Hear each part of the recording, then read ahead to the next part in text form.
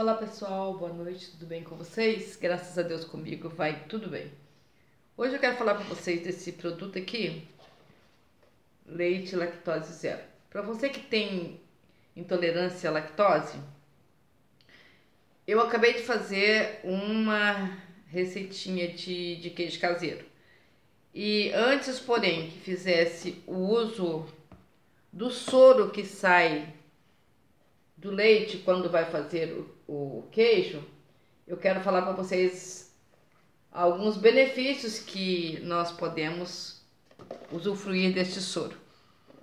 Você pode fazer o seguinte: guardar o soro, esse soro, porque tem pessoas que acham que o soro pode jogar fora ou jogar, colocar só para animais, principalmente na roça, é muito comum levar para os animais é, beber o soro, porco, até mesmo os, os gados, levar lá para a cocheira lá e eles bebem.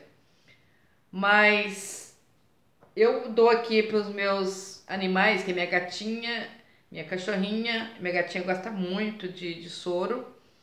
E então, você pode colocar em uma garrafa PET ou em qualquer outra vasilha porque na garrafa você conserva por mais tempo. Então aqui eu coloquei o soro aqui.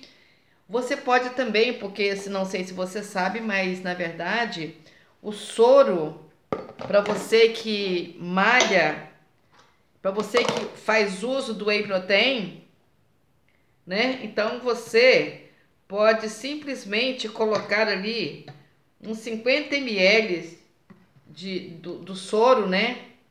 Do soro já que você, se você tem problema com a lactose, né, então você pode usar também esse, o soro no, no suco, suco de uva. Eu, como gosto muito do suco de suco de manga, eu sempre uso com suco de manga. Inclusive, acabei de bater um pouquinho dele na faixa de 50 ml para uma polpa, né? Então, dá isso aqui. Então, não fica nada ruim fica até gostoso o suco.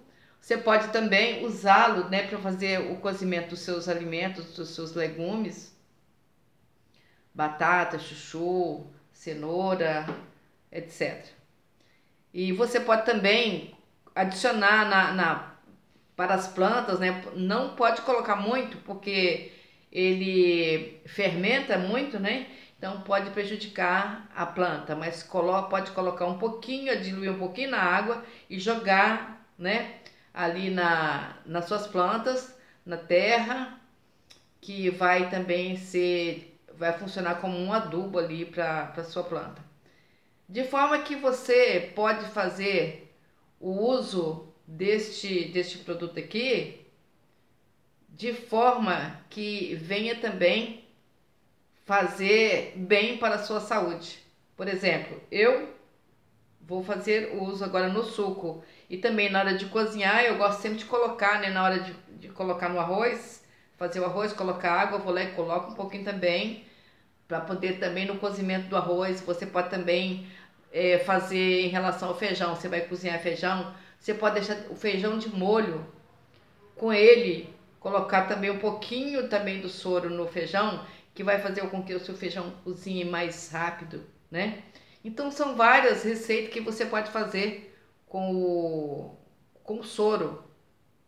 Você pode até pesquisar mais coisas que você pode fazer com o uso do soro, que você vai te beneficiar na saúde. Então é isso que eu queria passar para vocês. Não jogue o soro fora. Aprende a aproveitar melhor aquilo que você tem, tá bom? Se você gostou do vídeo, deixe o seu like, deixe o seu, seu joinha. É, não se esqueça de se inscrever no canal, que é muito importante para mim, né? E se você tiver algum amigo, também pode compartilhar e deixa também o seu comentário, tá bom? E depois eu vou deixar para vocês a receitinha do queijo caseiro feito com o leite zero lactose, tá bom? E no mais, tenha uma boa noite.